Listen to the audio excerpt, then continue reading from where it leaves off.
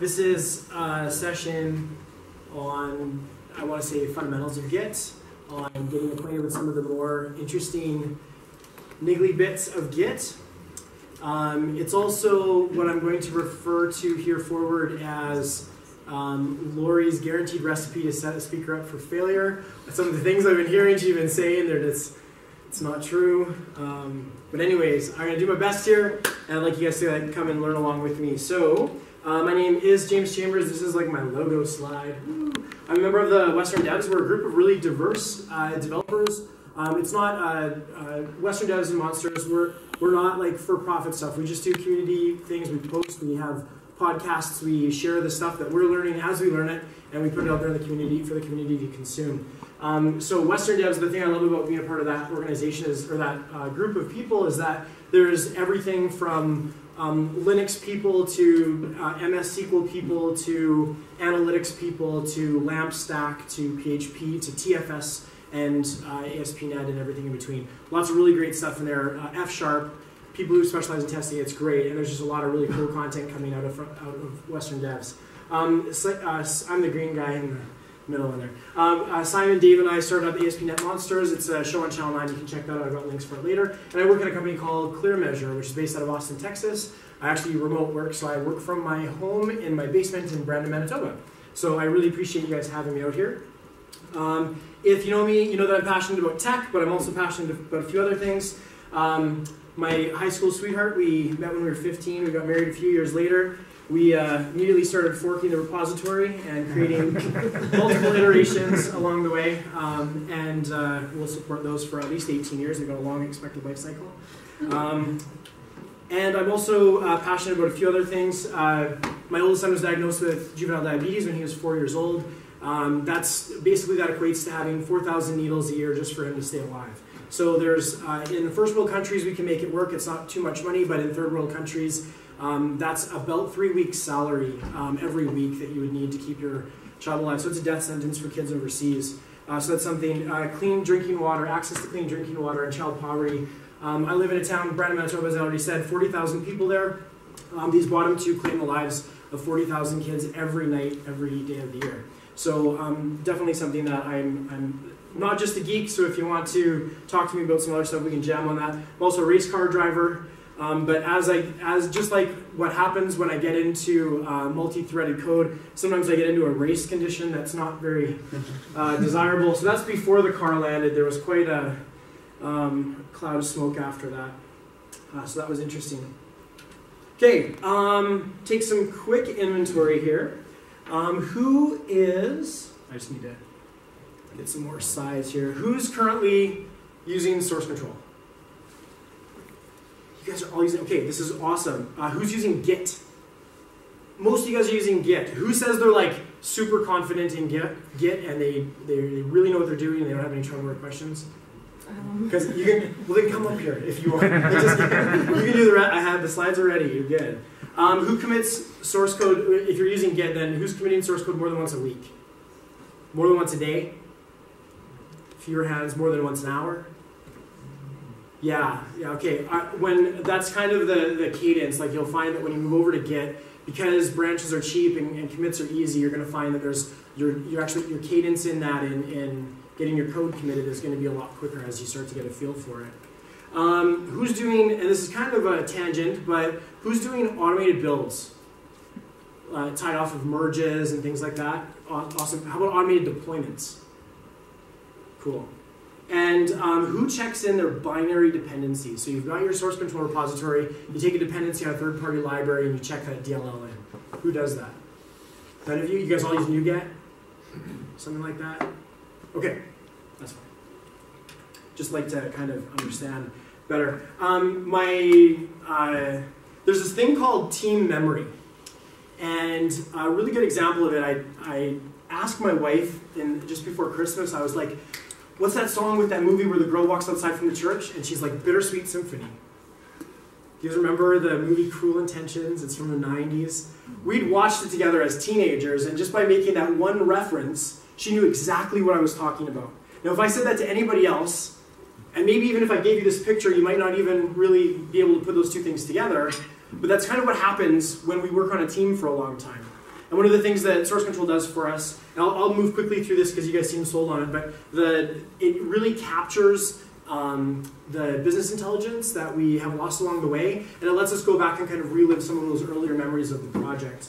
Um, but we're mostly more interested in the delta. We're mostly interested in the change, and not the entire set of files. And it's, we can, especially um, if you think about that in the context of like this crazy huge large project that you've worked on, and there's hundreds of you know hundreds of files across dozens of projects. There's a lot of stuff going on there. There's a lot of movement going on. And if you had to figure out from that check-in to the next check-in what was different between all of those things on your own, that would actually be a, really monumental task. So what we want our source control to do is to be very effective at telling us what the delta is between what it was previously and what it is after a point in time. Okay, so centralized source control, who has used things like TFS, SourceSafe, it's okay, you can admit it. we'll do a support group afterwards. Okay, there's other ones, CVS, or, uh, for the, the centralized stuff, there's some other ones um, uh, that you can use as well. But the, the premise is basically that we've got um, a, a, source of truth that's the centralized server, right? And um, that at that uh, level, we have to kind of indicate our intent, intent to make modifications if we want to do it the right way, if we want to kind of follow the paradigm, we have to mark, express our intent by actually checking a file out and saying, I'm going to be working on this. And that can cause some interference for us. That's one of the problems. Commits happen directly against the server, and updates happen from the server. So in a centralized model, whenever we need to sync up changes, we're talking directly to the server. There's no real other practical way to do that. In a distributed source control mechanism, we've got something else going on because that repository lives wherever the code, it follows the code, it moves with the code. And that empowers us to make changes um, locally because we've got the source of truth with us all the time. And that is um, expressed uh, usually by some kind of um, hashed, rec uh, recognizable component that our system understands, that our upstream understands. We can create remote branches to express intent, and we can share those with people that we want to collaborate with and we can, our, it's the local graph of changes where we actually make our commits, not at the server. And when we make commits locally, the server doesn't know about them until we actually push them out. And we can push and pull to the remote repository rather than doing this update cadence where we're resolving conflicts and things like that. We're doing pushes and pulls to do our synchronizations um, and or pull requests which um, are, if you think about it, are just like this with a checkpoint in it. There's a bit of a gate there.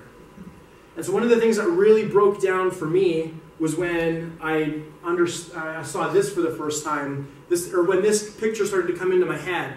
Because what happens when you've got distributed source control is, yeah, you can do pulls and pushes with the what we might think of as the, the core repository, the central repository, but we can also do that against other clients. And then I was kind of like, what? because I was like, that's crazy. Um, this is a quote uh, Yes, let us use distributed technologies. That way we can trade our problems for distributed problems.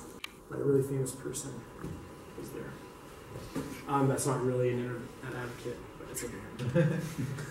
there are some things that we need to consider, though, um, as far as the benefits and challenges when we're considering like there's it's not just like we're, we are trading problems there's a new set of things that are introduced we have decided as a community at large, as developers, we've kind of said, yeah, this is a better way of doing it, but we do have, like, there's, there's good things. We have faster workflows, and we get to pick what those workflows actually look like. You don't have to, there's not a set of tooling that dictates how we're going to go about our normal workflow, um, which is the case with some centralized service. On the other hand, it's hard to enforce policy. So if some guy wants to come up with his own thing, there, there are gates that we can put in place, but if somebody wants to come up with their own thing, they're free to do that. And locally, because they've also got the source of truth, they can do whatever they want to do locally. Um, I, I, think that one of the, the coolest arguments is that there is a, uh, this opportunity for us to explore the code base without worrying about any kind of impact that we're going to have on our peers. And so experimentation takes on a life of its own, and I think it really empowers developers who are confident using the tools to start to experiment a little bit. However, we also have loss of visibility. Um, previously, when I was working in the TFS world, we actually had a repository called Spike. And whenever anybody was doing something as a side project, trying to figure something out or hack on some new bit of the system, they would go over, create a Spike project, and check that in. And that was really healthy because we could actually monitor that repository and see what other people were doing. And maybe down the road we can say, oh yeah, I think somebody was parsing CSV and converting to JSON, so I can go grab that code that they've run in that Spike project. And we don't get that if people aren't adhering to that, those same principles in a distributed system. If they're just spiking locally, then we may never see those. It's, it's a risk. It's not the only thing that can happen. There's other brighter alternatives. Uh, branching's later. We're not making entire source code, we're not making entire clones of the source code. And although the distributed aspects can vary from system to system, the really cool thing about Git is that there is a, a much lighter branching mechanism. We'll talk about that in a little bit. Um, on the other hand, you can run into things like one of the first things that I did when I came onto the project that I'm currently working on was I kind of went in and had a look, and we had like 118 branches that were all at various levels of synchronicity on, on GitHub. And it was like, um, okay, so how much of this actually holds important information? And because anybody was able to create branches, um, everyone, everyone could. There's also this freedom for private integrations. So I can fork a repository and then start, then I kind of own that fork. I can actually take that source code out and start doing whatever I want to do against it on, on uh, a source control server. And so I can start integrating with other services in whatever way that I want to. The, the problem then becomes though is that if we've got desired integrations. Like if we want certain things to happen, as people are making certain types of changes or modifications to the project, for example, triggering builds or running tests, we lose that ability um, in a distributed model because anybody can own the code. We can work wherever where is required uh, for the task at hand, rather than having to check files out and express intent that way, which is really powerful. But of course, on the flip side of it, it means that you can have seven or eight people working on the same thing at the same time. So um, part of the lab afterwards, we're going to kind of open it up. I have a repository that I'll share with you guys, and we can try and like totally mess it up, and then we'll just work together and try and fix it too. So we'll come up with something there that we can do that's kind of fun. Um, anybody can create things labels, little tags, uh, branches, new repositories if you've got an organization, they've got permissions set up. And that's kind of more the default stance. You have to do a little bit of configuration in order to make that not true in the Git world. Um, that, that's also the problem. Although, so anyone can create, and then that's kind of the problem that anybody can create. Like even that guy on your team. You know that guy I'm talking about? He can do creating things, and it's not good. Okay. So uh, Git as opposed to things like SVN or Mercurial. Why why uh, why Git? And I actually this isn't. Uh, I would actually say uh, Git is an expression or a flavor of this kind of uh, system, but a lot of similarities between some of these other um, pieces that are out there. But compared to SVN, very cheap branches. Um, all that is all that changes on your system when you create a branch is there's a pointer added to the database that points at this name and that name can move along with your code. Okay, so a branch is nothing more than a, a point in time that moves along with commits, and it's pointing at the latest commit under that name. Um, it's very similar to tags, except when you add a tag, the difference between a tag and a branch is that the tag stays place. It doesn't move along as you make additional commits. But inside the database internally in Git, it's basically the same thing. One moves, the other one doesn't. Um, there's a really good diff engine. So if you, um, once your project's up and running, the initial commit's always big, right? There's a lot of stuff that goes in. If you do file new project in MVC, there's like 473 files that get created or something like that. Um, so your first commit's gonna be big, but after that, the difference in size between what your repository was and what your repository becomes after you do a commit is very, very, very small. Um, so it's, it is, it's got a really good diff engine uh, built in. There's a lot of uh, really cool things out there for visualizing how your work operates. If you don't like the command line, then there are really powerful um, GUI tools that you can use. Um, I actually use a mix. So from a command line, I use what's called PoshGit. Do you guys use the GitHub for Windows client? Does anybody? A couple. I highly recommend it. Um, it is from its infancy, it has grown so much. There's a there's just a lot of power in it, and for a lot of the things that are a little bit more difficult to do, for example, um, not even really difficult, but the things that are, yeah, difficult to do from the command line anyways, it makes light work of inside the client. So the um, uh, GitHub desktop pardon me, is cross-platform, so you can run it on Linux, Mac, or PC. Um, it works great, and it really solves a lot of problems. But there's others external pieces to the tool chain uh, beyond uh, what GitHub or the Git community provides, and that's uh, expressed through things like AppVeyor or um, other integrated uh, uh, tools that you can use to integrate with your code base and uh, queue off of things. There's the Git status API, which we use on our project. So as an example, um, when somebody checks in or does a pull request, when they create a pull request, we're watching the whack refs whack pull star, and anytime that a pull request is created on GitHub, our build server automatically cuts a new copy or uh, creates a branch locally, merges back to our develop branch, builds that code and runs and executes the tests. And we know, and then we get a status notification back to our repository on GitHub telling us whether or not we won't even proceed with a pull request until we know it's passing because we want your tests passing before we do the review. So there's some really great things that you can do. A couple of tenets of Git. Um, there actually, we uh, I was just recently at a conference and there was this uh, great uh, presentation that was done in like five minutes talking about the Git graph proper um, by one of the developers there. Uh, she did a lightning talk, um, and it, was a really great way to dive in and understand how the graph works.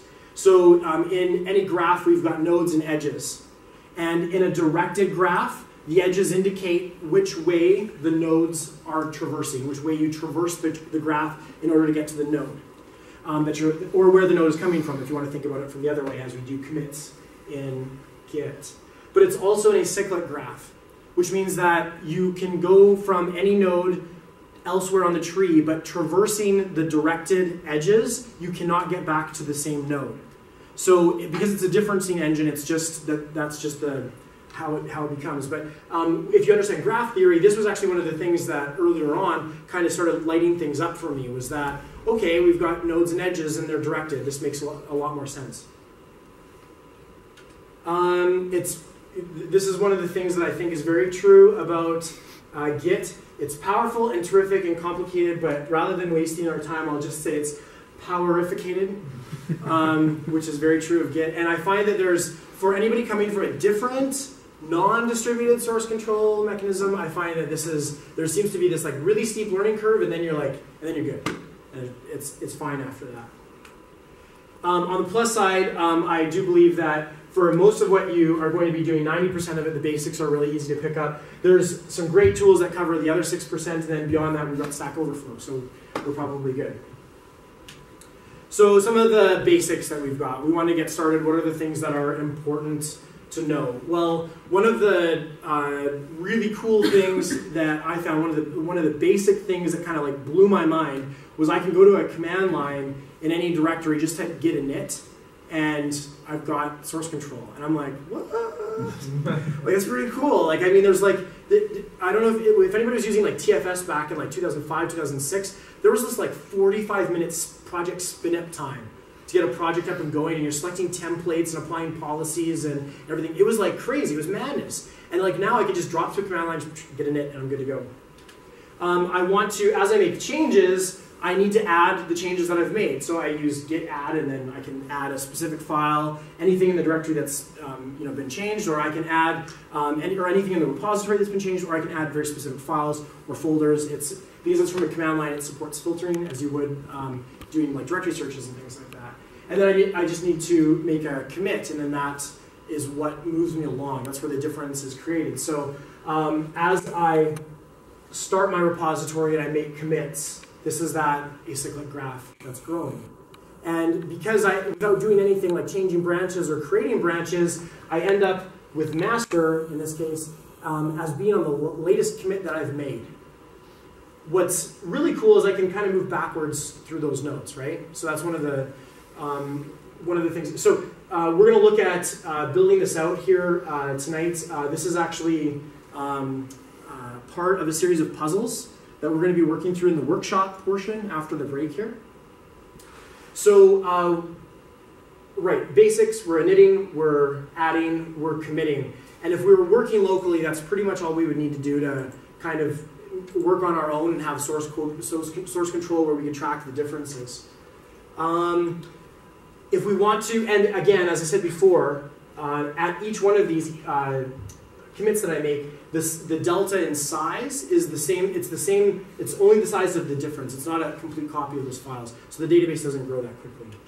If we're leveling up and we understand those things, then we want to move on uh, quickly and learn some other um, aspects of it. So uh, one of them is git amend. I've made, um, I forgot something and I need to add it to my last commit. Um, typically we're changing messages, those kinds of things. We've got git log, which if we just type git log from the command line, we see the history of all of the steps that have taken place, all of the commits, um, as my branch is aware of.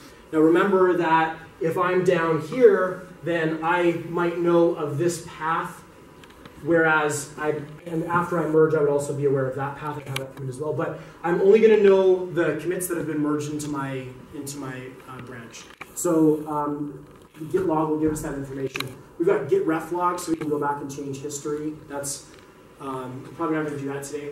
Um, we've got branching and checkout. So I, I create a branch called bug fix. I can check out master and add commits to it and move along. And then um, I can, as I create a new branch, I can actually just check out a new branch, pass it some flags. So there's some syntactic sugar that we can learn as we go as well. Um, those are kind of the, this is kind of the, I, I feel like this is, these are the commands you need. There's five here and three on the previous one. Once you get those under your belt, you're actually humming along pretty good in Git. It's not much more complicated than that for 90% of the time. And then there's going to be other stuff that happens. So we're eventually going to need to do some merging. And at first it's pretty simple. Um, merging, if you're just doing branches on your own and merging things in and you're not working with other developers, it can actually be pretty straightforward. So I, if I've created a branch called bug fix, I go over to that, I make some changes, I add some commits, I write my tests, um, or I would write my tests first because I'm you know, doing test-driven development. Um, I write my tests, I write some code, I, I uh, do my commits, and then I'm going to merge it back to master. So I would check out master, and now I'm on the master branch, and I can merge those changes in. Now, the really cool thing is if I get, if I create a branch and I'm working on a particular bug that is medium priority and a high priority bug comes in, I just simply pop back on a master, I check out master, and then I create a new branch, I start making commits over there and I merge those back into master, and then I'm done. I can check out my other branch again, and away we go. Uh, when it gets well, this is supposed to be more advanced merging, so things start to get a little bit um, crazier uh, when you get more people working on your project, and then merging becomes a bit more of a challenge. And what happens is, um, on that medium priority uh, bug fix that I was working on, I had some changes that I was making to a particular aspect of the system, but there was a more critical bug that came in and customers weren't able to check out. So I've gone over and I ended up having to work on that same module and I've made changes that are in conflict over there or that need to be also available in this other branch. And I merge those into master. And when I finish my bug fix over here, I don't want those changes to disappear. But I also don't want to make it look like it's my own work. So we want to be truthful about how what the history of, of um, our repository is. And because remember, everyone has a truth, right? We're all uh, a, source of truth. So we want to maintain that source of truth. And rather than saying those changes are also my changes and making them again in mine and merging those over from that other higher priority uh, branch, I'm going to take those changes because they were merged into master. I'm going to rebase uh, my uh, branch off of master. So to illustrate that, I've got a repository. We make some commits. We move partway down, and this is our master branch. And then I work on my medium priority uh, defect over here. Sorry. And I add some commits, and then somebody tells me, hang on a second, we have this higher priority one. So we come over and we start working on the higher priority bug. I check out master. And then I create a new branch for the high priority fix. And I add a couple of commits, and then I merge them. What happens when I merge them is that these commits come over here onto master. Okay? That's, we understand how that works. Now this branch, I can actually delete it. it. It's the history that it was there will remain inside of the repository, but I, I no longer need it. Now I've got these critical things that need to be on my branch here before I move them over. I can't release them. So what has to happen is this concept called a rebase. Who is rebasing their code? just a couple. Awesome. We're gonna do rebasing today, guys. This is gonna be so much fun. So what happens when we rebase is we say, okay, I have those two commits, but first I need these commits to come over here, and I'm gonna make sure they work on mine. So I rewind my changes back to where master was, and I replay these commits, and it, it applies the change sets in the repository for those diffs that were created. It applies those to the repository, and then it replays my commits over top at the tail end of it. And it's really important because if um, you are working with, maybe you're working with database migrations, maybe you're working with um, uh, form validation and, and things like that, and those need to be represented. Now when I do the pull request back here, when I merge back over, all that comes are the commits that I had in, in my branch. And then this branch can go away as well. And that is what, in a nutshell, the idea of continuous integration looks like, where we're actually constantly updating our source code based on what's in, in master. So that's a very important uh, piece. There's also actually people who argue that that's not enough, that we need to be um, merging our stuff with everybody else on the team as often as possible, which is kind of like a next level thing. Yeah. So rebase. So one of the things I, I'm starting to kind of think about is the change history. So you have those the story of the two fixes that you did that were kind of independent of each other. Yes. So with rebasing, it's it's kind of keeping that history of that change and putting it back into the master. And then one of the things you want to do is you want to maintain that that change history. Well, imagine what would happen if we had a set of changes over here, and then we took all of the changes that were here instead, um, and we just merged them over. We would end up with a merge commit down here that looks like I changed 60 files, right? And that's not truth in, in terms of how the repository played out. So I don't want this. I don't want to replay these changes at the end of where I am in the graph. I want my gra graph to reflect I'm coming in on the tail end of wherever master is. So I need this these changes not to be reflected as one, but however many there are up here so that when I merge back, I have those commits in the graph. So this is this is something you have to think about when you're doing these that rebasing. Is that Um, or am I misunderstanding? well, I don't think about it when I'm doing a rebase. I just like I, I know that whoever has code in master, they win. So their changes get to go in first, and then I need to adapt my code on top of that. Right. So what we're always trying to do, that's why I was asking about how often people are making commits, because if I'm committing multiple times an hour, if I'm doing, if I'm pulling from master, whenever I see, you know, we've got a Slack channel open and we see pull requests being merged, as soon as I see that, I pull a copy of master and I rebase. There's no point in me working off of a weird state that is not valid, right? The minute that somebody else adds commits on master, my branch is not valid. It's, it's irrelevant, and I need to update it based on what's in master because there's going to be additional tests there. There's going to be additional functionality. There's going to be a bug fix. I need to be able to control that and make sure that I'm reflecting that in my code base. Yes? Yeah, just another quick question. Then, if it is the same feature that you're working on, as you were saying, and you rebase, it's going to break your code. Is that right? Um, it can. Um, it break your code in what way? Like, I mean, if you, if we, if somebody else on the team, or even if you had another branch where you were competing, you had competing interests Mm-hmm. in the different, and you came in, you're gonna end up with a conflict, and you'll need to reserve that, Mm-hmm. um, which is actually what we're talking about next. So Yeah, that's we- why. That's why I asked Yeah. question. Yeah, absolutely. Yeah, it was a great segue. Thanks. I planted that. I was gonna say yeah, total plant, total plant. Um, yes. With, it might be a little confusing the way that you redrew your diagram. Okay. Um, master, so those two greens were going down, straight down from master. Sure. Yes. And you gotta think that every branch is, uh, it has a root, right? Where your branching point was. And that was that second red one at the top, that Yeah. one, right? Yeah. And rebasing is changing your root of your branch. Absolutely. And it's replaying your changes off of that new um, base for your branch. Absolutely. And therefore, then there's another thing that you'll start to look at too when we start talking about like the SHA or the hash that gets created for your commit. When you do a rebase, you actually all of your commits, like the identifier for those commits, change.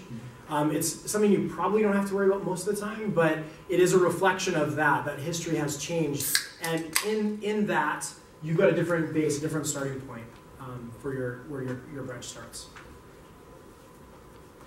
Okay.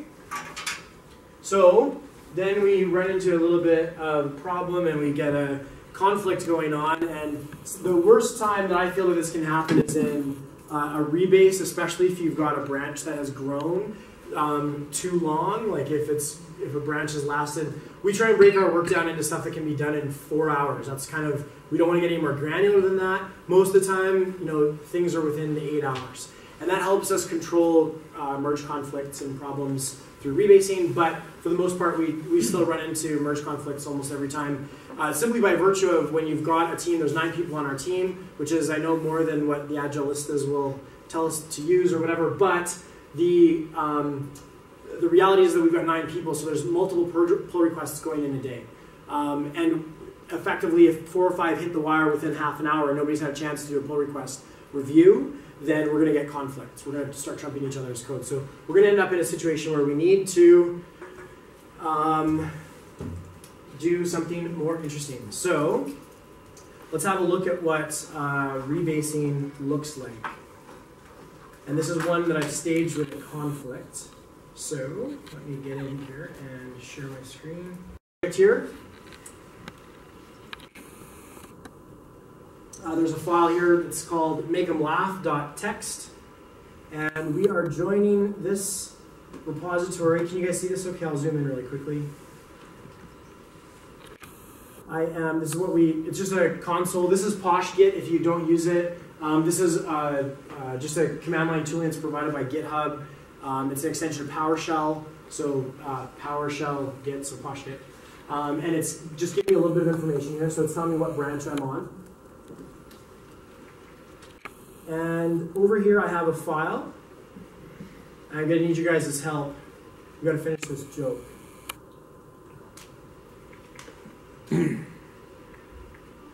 Anyone?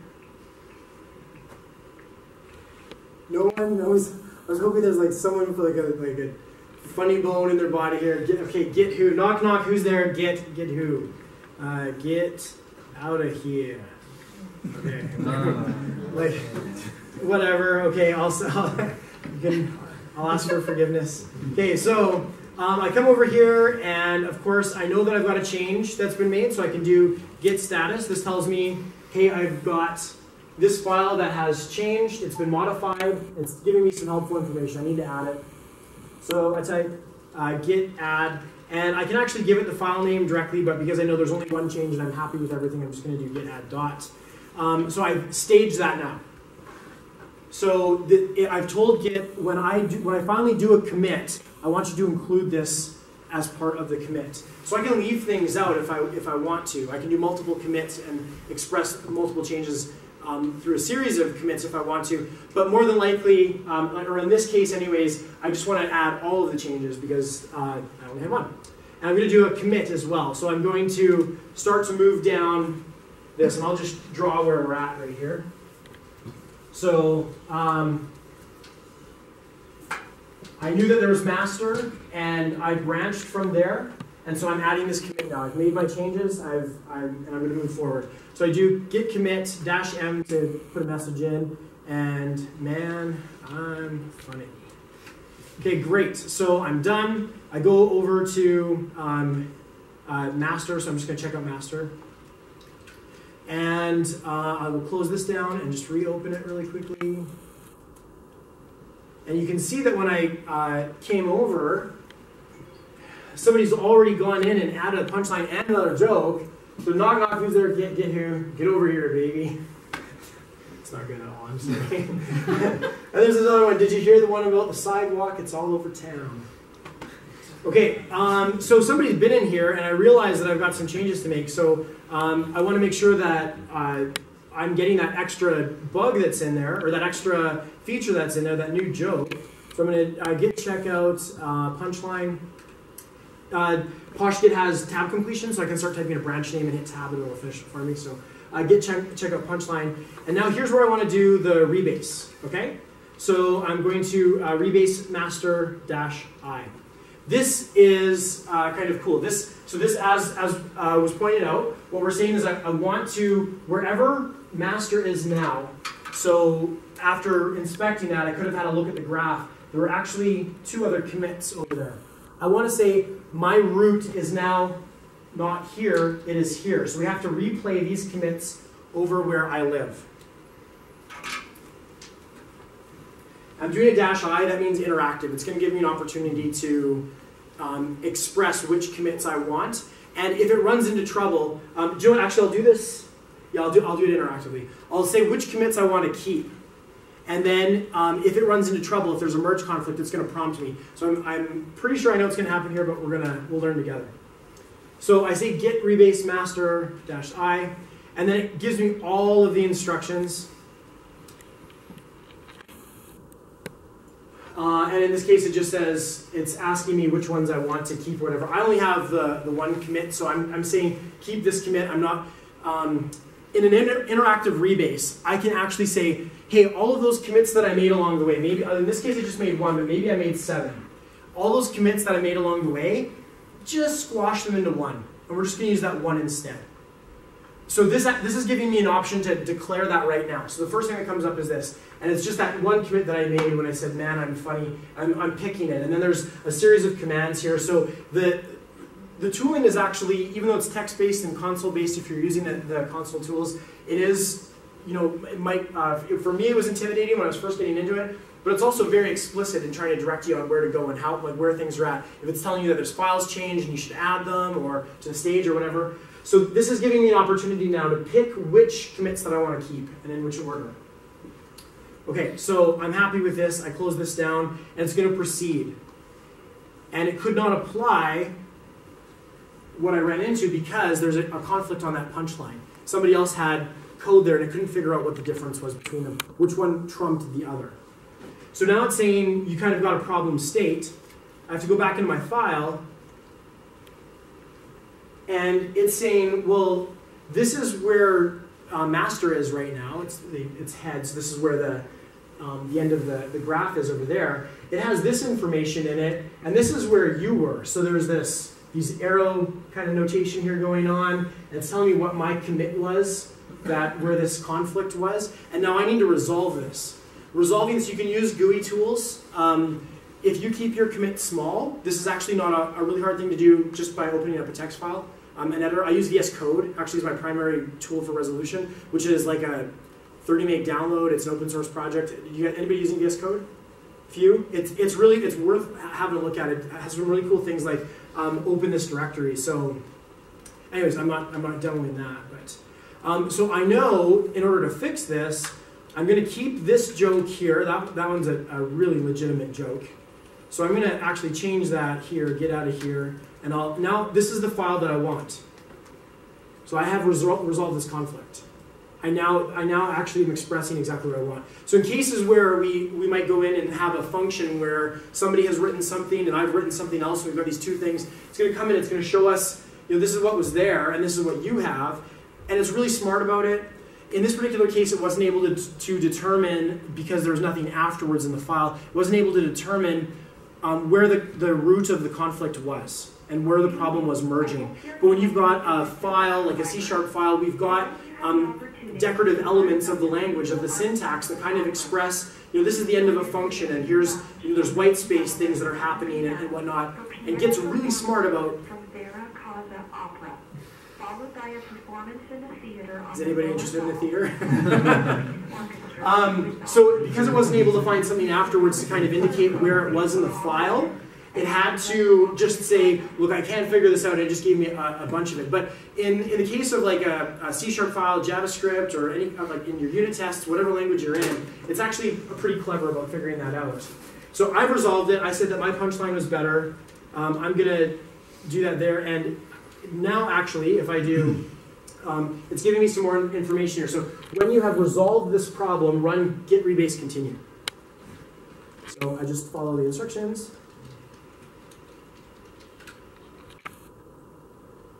Oh, sorry.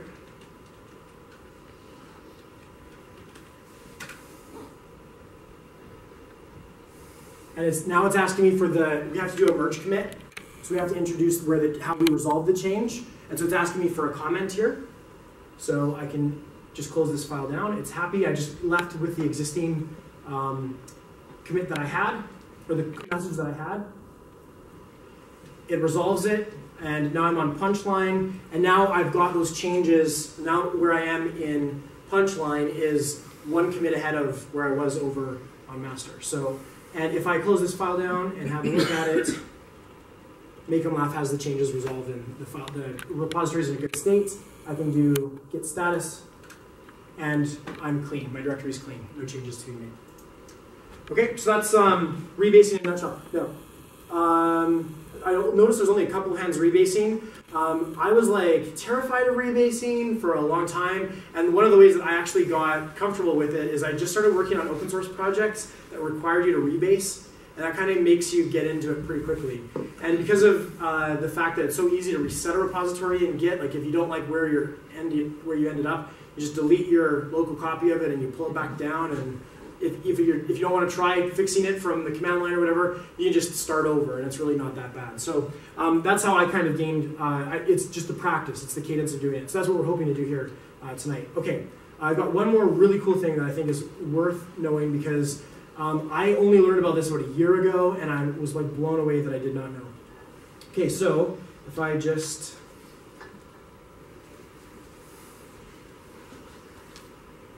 continue going, there are more. Um, sometimes we have to have a better um, idea um, about the changes, or we have to get in there and get really dirty. And it's not about the changes necessarily that are in conflict, but it's about changes that have caused problems. So if you think about um, uh, you're, you've got a website out there, you've been running along, things are going great, and then somebody says, hey, you know when I uh, click the add another one to my cart, it doesn't work anymore. Like just, I'm always stuck at one, and so I can't add like two, three, four to my cart. It just says one. When I click the up arrow, it doesn't change. And you're like, well, I know that that worked back in September, and then you have to try and figure out when was this bug introduced because we've got other branches. We want to make sure that this is reflected. We don't want any more code coming back in. We don't want a regression. We want to add a unit test and make sure that we're that we identify the bug. So um, this was this is what I this is what I would do today. I would write a unit test that exposes the bug, and that becomes a very important tool that you can use with Git.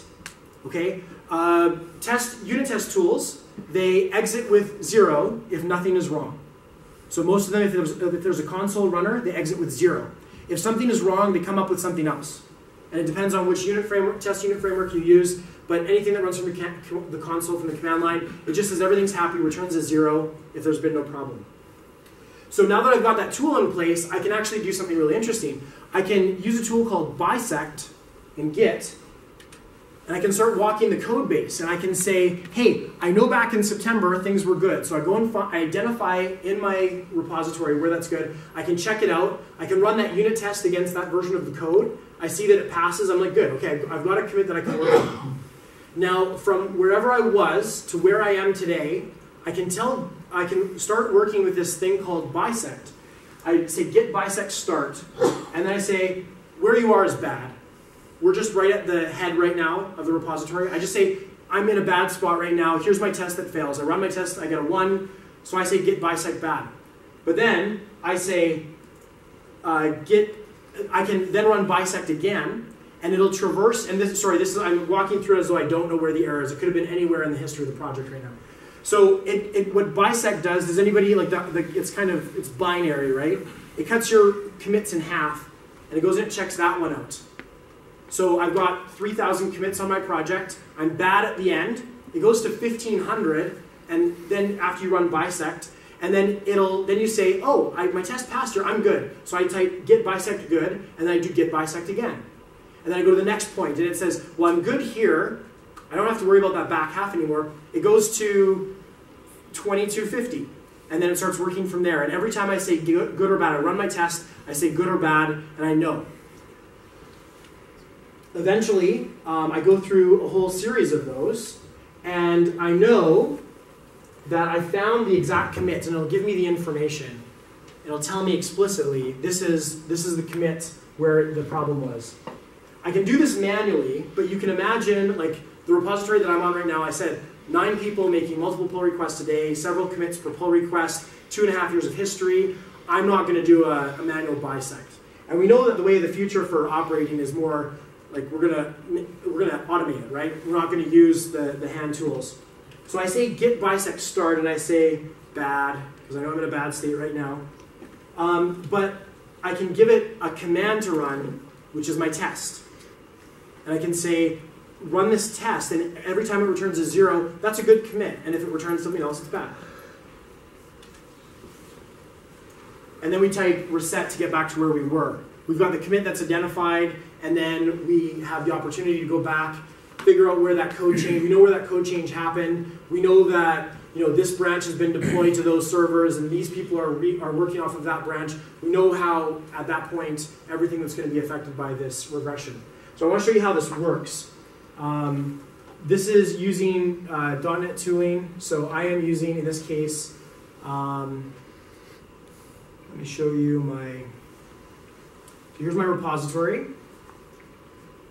I'll just spin this down. Uh, here we sit at the end of master. I'll back up one. There's a series of commits that have been happened. I'm not seeing anything that's particularly telling me where this defect might have started happening, um, but I can see here that uh, there's, there's something interesting here, maybe this bug fixing one, but I know that when I was doing this one, for example, that I was that's something that I was in a good spot. So I can I can go back, you know, in time, like I've got dates. It tells me the dates when things were happening, and I can say, well, I, I know that it was. I don't want to have to do this. I don't want to have to go through each of these changes. I'm just changing one file here right now. When you've got a larger larger code base, then it, it's a lot harder to, to hunt down. But from where I sit, um, I know that I need to identify where did this thing actually come into play. So I open up a command line. Uh, let me see here. Awesome. Okay, so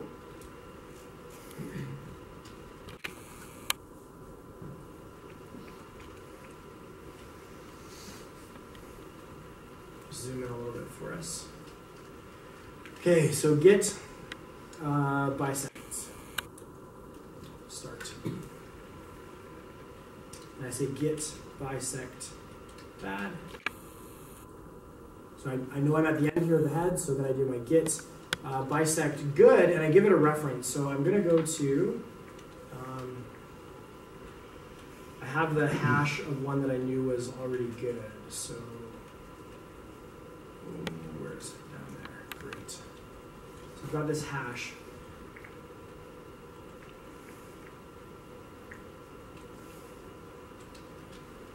I just paste that in, and I tell it this is a good one. And it actually, because it's a small code base, it knows that it can actually finish the bisect procedure in two more, it only needs two more operations. What's the best way of getting the, the hash for the? It's anywhere, and any commit has a hash, so you can use any tool. You can use uh, git log to find the list. Yeah. Um, any visual tool that you've got has uh, every commit that's in the in the repository. Any GUI tool that I've seen, you can right click on it and copy the SHA. So that should be it's that's that's like as soon as you get into the tooling, you're going to see it. that's in that's in the GitHub desktop It's well. GitHub de- desktop has it. Uh, SourceTree has it. Okay. Um, there's another one that uh, they, they all have. It. I'll show you. I'll show that in a second. Sure. So now I want to run this automated tool. So I am. Uh, I have a unit test that I've added. We'll call it a unit test. I'm kind of cheating. We're going to unit test that I've added, and I'm going to run that unit test. And it, when it fails, it'll know that it's bad. When it's when it succeeds, it's going to know it's good. So let me let me try this. So I'm going to do git dnx, and I'm going to do source uh, git bisect testing, and I need to zoom out a little bit here. Uh, no, not the proj. I need it to be the JSON, and I'm going to call it git. This is the command. Um, so this is just me. This is just me invoking my tooling. So I'm invoking the the tooling that I need. Uh, this is the project configuration for uh, to, for me to execute DNX, and this is a, a command that I'm exporting from my project. This is the unit test. Oh. sorry, git bisect. Oh no.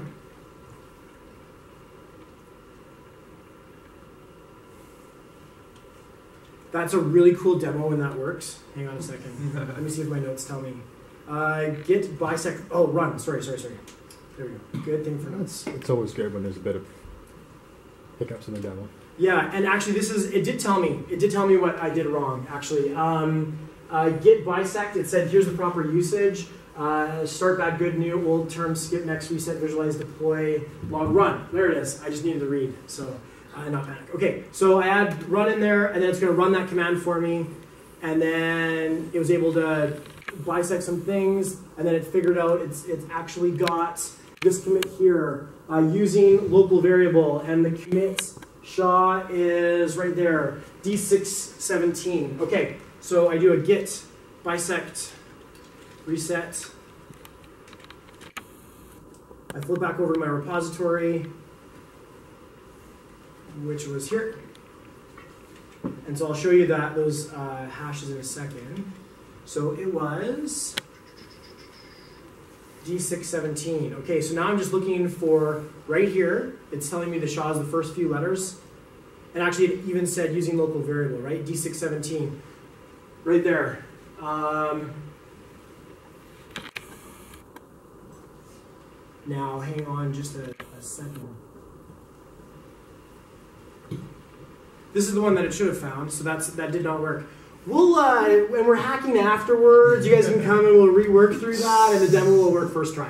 So uh, I'll do my Lego Batman first try.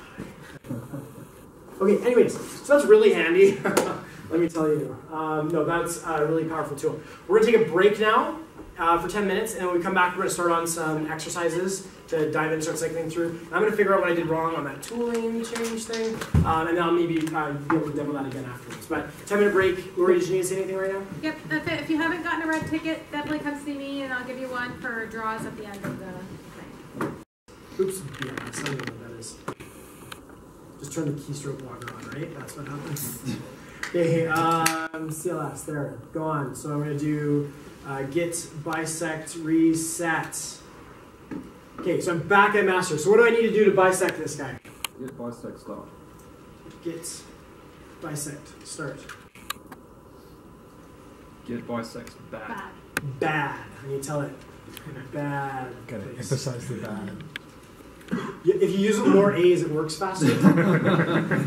so get bisect bad. Okay, and then Get bisect good. Good, and I give it the SHA for the commit. Right. So I'm not gonna type that. We're just gonna do this. Mm, Good, right there. So I knew that one was good. And now Git bisect dash. What is it? Run. git DNX. bisect run, and then our command, whatever's gonna invoke Yeah. our unit test framework. I just happen to be using DNX. DNX with a Dash dash test exporter. Right. So- file. Whatever you had in your history there. Right, whatever's in my history. So git bisect run and then the command. So what I was missing was this dash dash project to tell it this is where the project.json lives. So DNX project, my path to my project.json, and then the command that I'm exporting in project.json. Anybody geek out, out over ASP.NET 5 yet? Couple, awesome. Exporting commands is going to change the world. Okay, anyways, then it's going to run. Oh, and it's prompting me because this happens to be a console app that prompts, and away we go. And then bang, finds the commit, tells me it's at the, the commit message with string interpolation. The SHA is 74A9. So I can pop back over, and then here it is, 74A9, return, and that's where the bug was introduced. There we go. What's that? Ta-da. Ta-da! I did do that the first time. The first time you guys clapped though, right? Ta-da! There you go. Okay, wonderful. Okay, But the, so the key thing there is you have to have testing framework in there to kind of make that magic happen. um, yeah, I mean typically you're gonna have a like any test framework that you have. Like as I said, like you you probably who's doing testing on their projects. Oh, sad face. so the next session is going to be on unit testing. Um, we okay, uh, we all have unit tests on our project, so there's going to be an automated runner that goes with it. So NUnit's got a console runner, xUnit has a console runner, whatever framework unit you like. In fact, even um, uh, does anybody use Postman for uh, testing APIs? Yeah, awesome, right. Uh, Postman has a console runner that you can use to execute your tests as well in the paid version, but it's it's a console app and it returns zero if um, nothing went wrong. So you've got your tests exposed to your framework. You tell the runner to go, and it knows about your tests on your project, and away it goes. So um, you can use something like um, uh, psake if you if you're familiar with uh, PowerShell. That's what a lot of people use for build scripts. Um, you can just use like straight up PowerShell. You can use whatever you want. Uh, if you're using like AppVeyor and, and YML, you can do that too. Um, whatever, and it's going to execute your test for you. But in this particular case, um, I was just using, I was just exporting a command from a DNX console app. So. Okay, so um, if we are at that portion of the evening where we are going to work through some exercises and you can move at whatever pace you want to. Lori, what time do we, what time do I have to leave? Um, well, I have to be there at, at like 10? I don't know what your flight is. I think I have to, I have to be at the airport at 10, I think. I'll figure that part out. um, So that means you should probably get out of here by eight thirty. 8.30. Okay, so for the next 45 minutes, we will run through the lab as quickly as possible. So if you go here, um, you will be able to start doing, there's a walkthrough. Um, to get on the Wi-Fi, you just have to um, abandon all regard for computer security and connect to the unsecured Wi-Fi network uh, called KPL Main. It's an open network.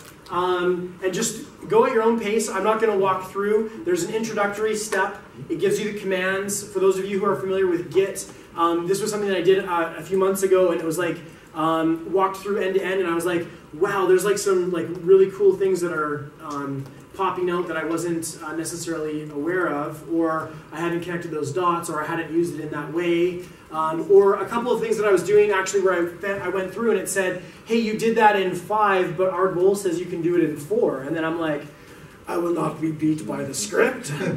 so then I would do it, like compress it down to three. You know, so there's there's ways that you can get more efficient in using Git. And this is just a really good way where you're actually not working with source code. So it's non-destructive Git. So this is a very good little exercise to, to use. Um, my good friend uh, Scott is here. Wave Scott. Yay. Um, Scott's gonna help me proctor tonight. So if anybody is having trouble, um, you each get about 17 seconds of my time, and we will.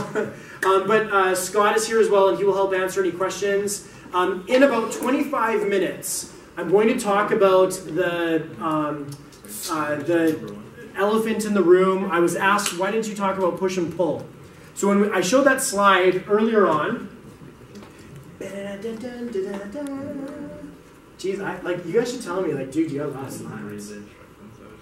Okay, did this slide earlier on, this this piece is enabled via push and pull. Okay, so um, this stuff that happens in distributed source control, this is push and pull. It, we're in about 25 minutes. We're going to jump on uh, to this repository that I created on GitHub, if you guys would like, and we're going to just try and thrash it. So we're going to do. You guys can fork it. You can pull down a copy of it. It's really lightweight. You can make some changes to the code. And uh, you're only going to be able to do that if you've got Visual Studio, unfortunately. Sorry, Apple people. Or you can just edit the text files like manually, and then we can just reject your pull request, and that would be cool too. so we've got lots of options. So we're just gonna like party on those bits in about 20, 25 minutes. So uh, for now, do that, and uh, just ask if you got any questions. Mr. James Black Learn Git. Oh, sorry, uh, GitHub.com, Mr. James Learn Git. Then um, you can fork this repository.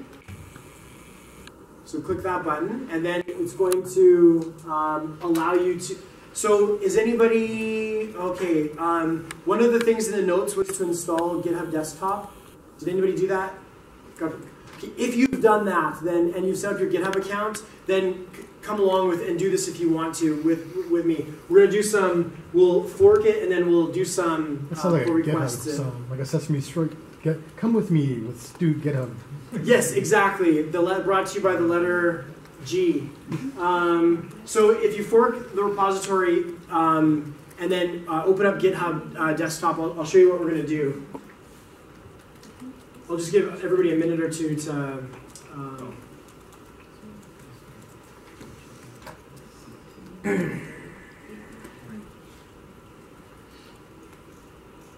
know you got a problem when.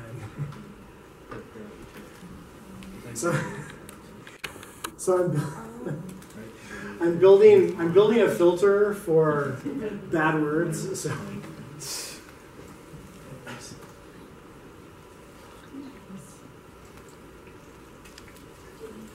here, yeah.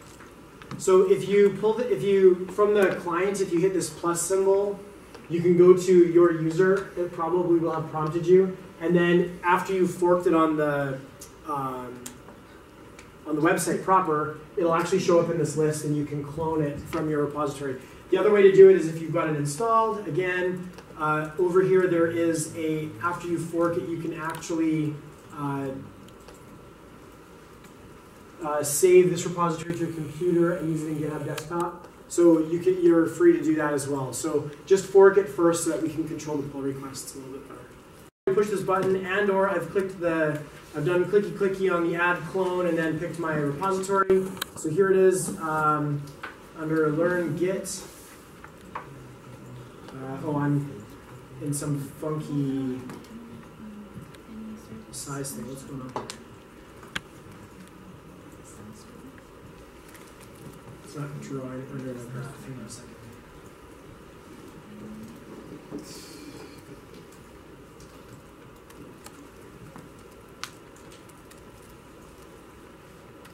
There we go. Okay, so um, inside this project is a, a solution called commits of fury.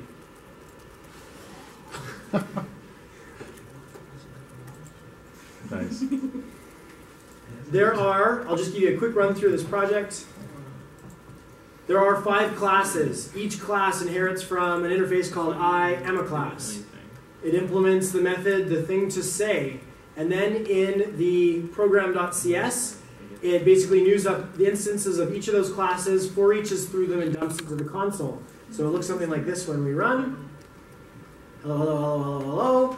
So this can do something more interesting. So um, each of these classes is up for grabs. I encourage you to do something like this. So I can do a, uh, for example, um, in, what am I in? I'm in class one. I can do some cool stuff. I can play with string interpolation in, in um, C sharp 6. So I can say var James, e oops, James, James, James equals James.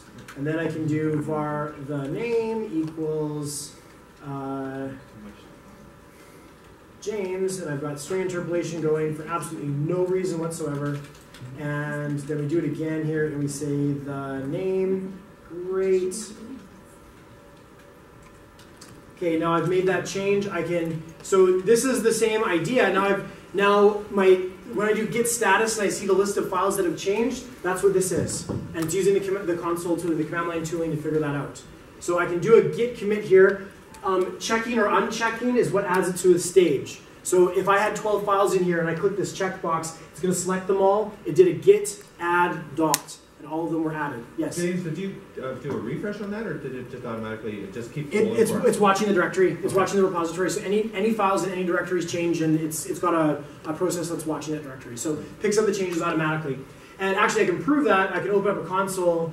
Um, so if I open up in Git shell, which is just a right click, and then I'm in Posh Git, um, I can do uh, git add dot git commits uh, name change.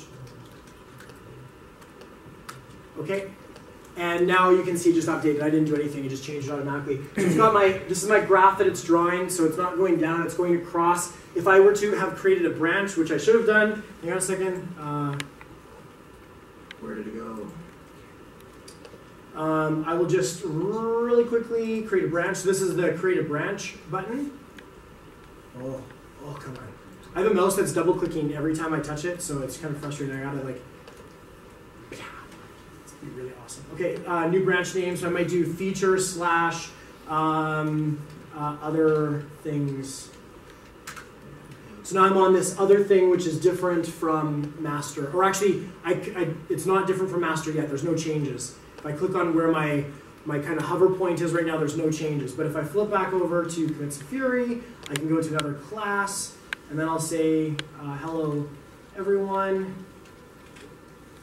And now I've got a change that's different, so more changes. I commit, so this is what's happening when I commit here. It's added another thing. It's telling me that I'm not synchronized with the server. From here, I can either publish this branch so other people can work on it. So this is the git push and pull bits that I neglected to, and I, I'm running out of time on. Um, but this takes care of that for me. This is pushing this branch out to the server. I've created this new branch called feature other things, and I can publish it. Or in one fell swoop, and this is where I would like to use tooling, is I can create a pull request, publish my branch, and ask someone to review my code. So I'm going to do that now. I say pull request. It says, what are you going to call it? I'm just going to leave it as more changes. And I'm going to say, please, and I do ship it. You guys know the ship it squirrel? Culture. Okay. Um, usually when uh, someone reviews your pull request, if they approve what you've got, they give you a ship it squirrel, and then somebody else will do the merge for you. So a little bit of fun. It's really exciting when you get a squirrel in your email. Okay, so now if I'm looking, oh, I've already got pull requests, right on. So I've got pull requests. Mike is cool. Thank you, Mike. Um, so I'm going to go in here, and here we've got this. Now I can look at the files that are changed, and it'll actually show me here that this is the only file that's changed. But if I didn't like that, um, I could have said uh, this implementation doesn't support localization. Please see Lori's upcoming session. Okay. I can now I can feedback, we can interact, we can talk. Once that pull request is out there, here's like one of the coolest things ever is I can go back into my uh, my piece and I can say var uh, localized string equals uh, sure we'll just do this again. Everyone, we'll pretend that's localized now because I that's what it is, and I'll use string interpolation again. Hello, everyone. No, not even args. Uh, localized string, localized string. There we go. So now I, I pop back over to GitHub. I've, I've, I've made a change on this feature other things branch again. But I'm still on that branch, and my branch has been pushed, and I've asked someone to merge that, that branch in. Because I'm on this branch, and I've made another commit, or I'm about to make another commit, um, changes again. Please use more meaningful messages than that. When I create that commit and sync it, it's going to push my new commit up to the, the server. And as long as it's synced, then I'm going to go back to the conversation.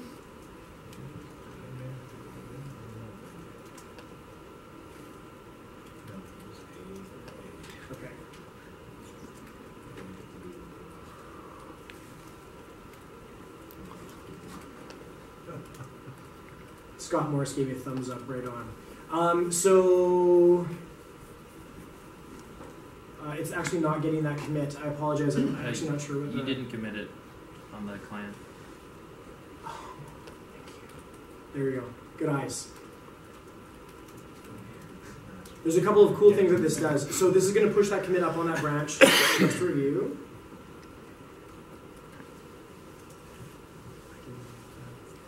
And in the conversation, it'll actually, uh, this isn't refreshing well, so there it is, that's what I wanted to see. Um, it actually says, some people commented on an outdated diff, so it actually says this is no longer relevant because the code's changed. And then there's my second set of changes, and I have files changed in there, and now I've got the localized string. So this, the pull requests give us this opportunity for interactive feedback as we go. So if anybody wants to make pull requests on this, like I said, I'll watch it for a week. If you've got questions, um, please reach out to me. Where's my, uh, this one?